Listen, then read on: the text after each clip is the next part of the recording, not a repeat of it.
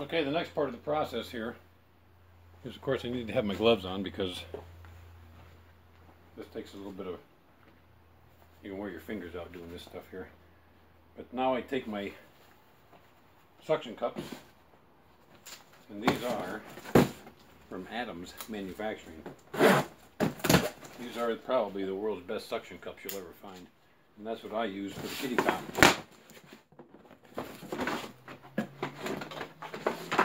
These are the suction cups for the top wire on the kitty cot.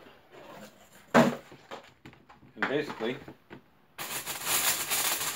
I've got snap and I have a nail in the vise here. And so basically I stick this through. And every suction cup gets looked at by the way to make sure that they pass my quality inspection. Go through and I put the snap clip on every single suction cup.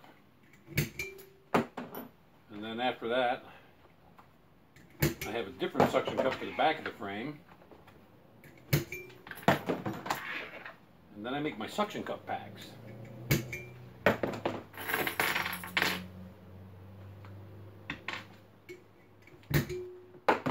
you know, there's a bad suction cup right there. That doesn't pass. That's why I look at every single suction cup before it goes out. And I just send them back for credit.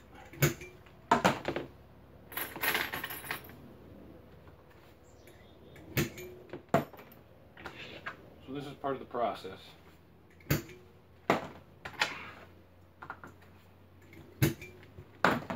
So I think I've got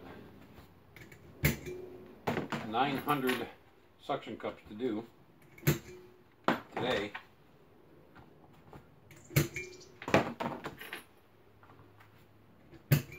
And that's what they look like. These are the guys right there. Oh, there's another bad one. See how bad that one is? That's a no-go. That's why I look at every single one of them. And I've done so many thousands of these, I can pretty much tell right off the bat which are going to work and which aren't. There's another bad one. See that edge right there? Not good.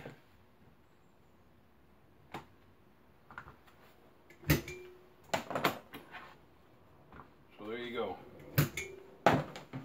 That's how it works. And these are all my suction cups right here. I got boxes and boxes of them. So every one of these will get a snap clip on it. Thanks for watching.